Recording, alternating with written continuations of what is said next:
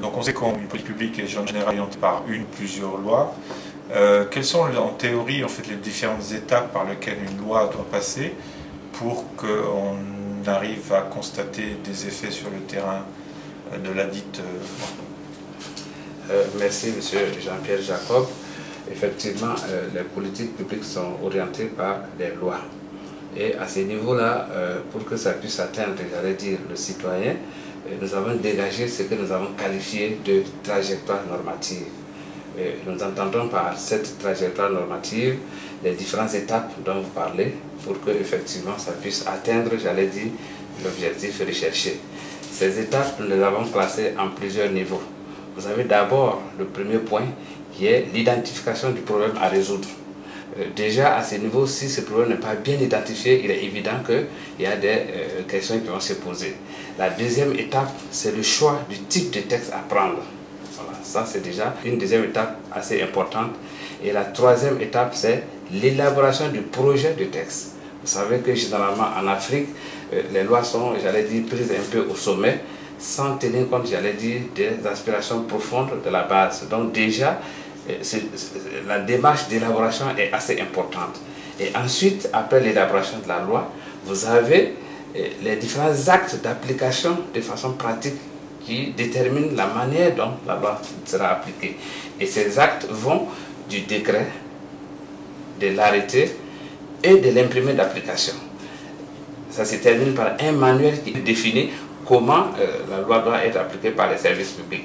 Si je reprends en résumé, je dirais que déjà au niveau de la loi, la loi définit les orientations générales. Le décret précise exactement comment ces orientations générales doivent être appliquées à un niveau inférieur. L'arrêté vient dire exactement quels sont les détails d'application qui doivent être pris et l'arrêté vous définit le modèle d'imprimé qui sera validé par les services publics et qui est remis aux citoyens après qu'il ait composé un dossier qui est validé et signé et on vous remet l'acte définitif. D'accord. Et au niveau institutionnel? Justement, euh, comme vous le constatez, la loi ne s'auto-applique pas. Elle est appliquée par des structures institutionnelles.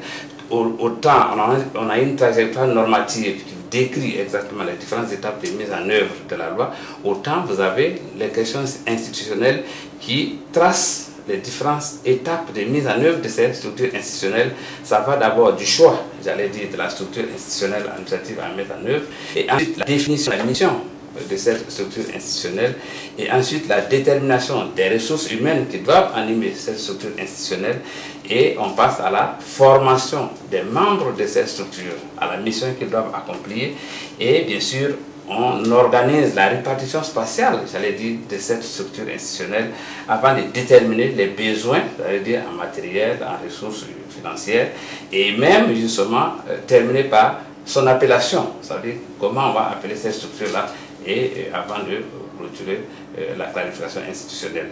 Donc c'est dire que on a la trajectoire normative qui vous dit les différentes étapes qui doivent être franchies une loi pour qu'elle puisse atterrir et remplir sa mission de service public.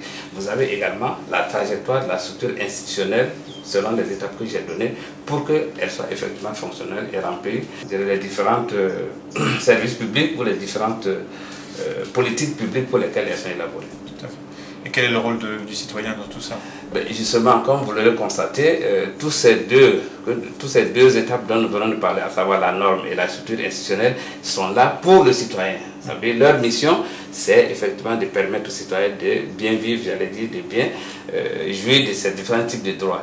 Donc, à ce niveau, nous constatons que le citoyen pour lequel tous les deux structures sont votées doit pouvoir connaître, j'allais dire, comment fonctionnent ces structures. Donc c'est pour dire que à son niveau, il faut qu'il y ait l'élaboration d'une politique de vulgarisation à son endroit qui lui explique les procédures d'accès aux prestations qu'offrent les différents services publics arrêtés par les différentes lois et définis par les différentes missions des différentes structures. Et à ces sujets, il faut s'assurer déjà, j'allais dire, que le citoyen lui-même, comme nous parlons euh, en Afrique, que ces citoyens existent vous allez constater que, euh, pour prendre le cas spécifique du Burkina, que ces derniers moments, on est en train d'élaborer, j'allais dire, les actes de naissance des agents. Donc, c'est dire que le citoyen lui-même déjà doit exister pour pouvoir bénéficier de ces vulgarisations euh, de ces textes-là. D'accord.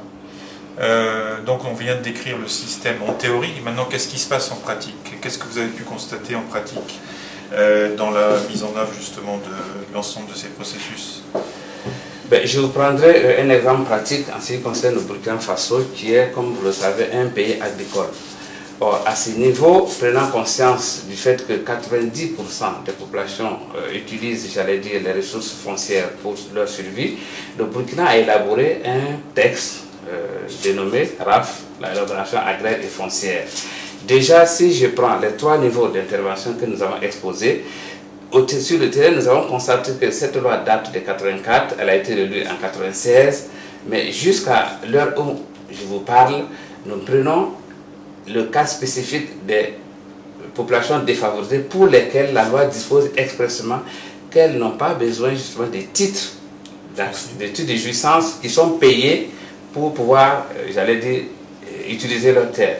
Mais l'heure à laquelle je vous parle, ces titres leur permettent de jouir gratuitement de ces terres ne sont pas encore élaborés. Ça, c'est le premier point. Le deuxième point, c'est que la définition du statut, j'allais dire, des terres de ces population défavorable, à savoir des paysans, n'est pas définie. Donc, ils n'ont pas justement des règles de gestion, des règles d'accès à cette terre. Donc, il n'y a aucun document qui leur permette de jouir de cette terre. Au niveau institutionnel, il est prévu qu'au niveau de chaque village, il soit créé une commission villageoise de gestion des terroirs qui a pour mission d'évaluer, de retirer et d'attribuer les terres. Ben, à l'heure où je vous parle, la loi qui date de 84, qui a été relue en 96, aucun village ne dispose d'une commission d'attribution de gestion des terres. Donc c'est pour dire que, euh, en rapport à une certaine lutte contre la pauvreté qu'ils ont définie, ceux qui sont dans le plus grand besoin n'ont pas ces structures-là installées à leur niveau et n'ont pas les documents pour pouvoir jouer, j'allais dire, de leurs droits. Donc ça provoque, j'allais dire, euh, cet inachèvement juridique et donc naturellement la politique publique est mise en œuvre ne pourrait jamais atteindre ces résultats. La sécurité juridique euh, des pauvres en général est telle qu'effectivement dans des situations euh, de transaction, ils peuvent se retrouver complètement lésés du fait de, l'absence de, cadre institutionnel dans lequel l'État les plonge. je veux dire, toutes les politiques publiques, pour ne pas revenir au débat actuel, et particulièrement la politique publique de lutte contre la pauvreté, se heurte à cette difficulté du fait que, et je, vais être à terre, je prends cette vieille femme dans son village qui vend son mouton, son poulet à 1000 francs. Aujourd'hui, au Burkina, euh, théoriquement, comme nous l'avons démontré, elle a une structure qui est le tribunal départemental pour l'aider à récupérer ses sous, mais concrètement, ce tribunal ne fonctionne pas. Il n'y a pas la procédure décrite mm. qui lui permet de saisir le tribunal pour pouvoir rentrer dans ses fonds. C'est-à-dire que l'insécurité juridique dont nous avons parlé, la conséquence de l'inachèvement juridique, à savoir la trajectoire incomplète, l'inachèvement institutionnel, nécessairement un facteur d'appauvrissement pour les populations qui ne savent à quel sens se vouer pour la sécurisation de leurs transactions. C'est qu'en fait, on, ce qu'on constate, c'est ce qu'on constate de partout, c'est que les gens obtiennent une prestation ou un service parce qu'ils sont dans une relation personnelle. Euh, et ils comptent sur la relation personnelle pour que, les, pour que chacun, chacune des parties euh, respecte le contrat. Exactement. Mais on n'a pas, effectivement, euh, du point de vue de l'État, une garantie qui permette d'assurer que les choses se passent, y compris lorsque les gens sont de mauvaise foi. Tout à fait. Ça? Sur le plan formel, ça existe, mais sur le plan opérationnel, tel que nous l'avons dit, ce n'est pas fonctionnel. Merci, docteur Ouattara.